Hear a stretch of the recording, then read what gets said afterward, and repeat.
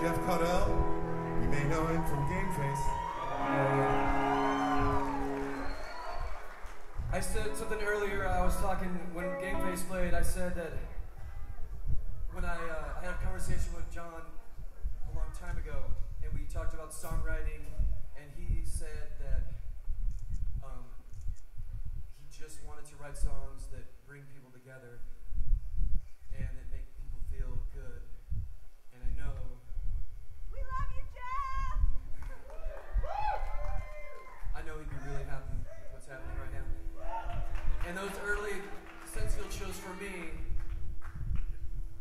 like going to church.